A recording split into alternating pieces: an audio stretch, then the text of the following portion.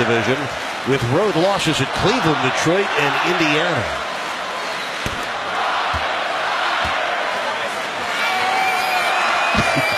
Now the home crowd chanting, LeBron is tired.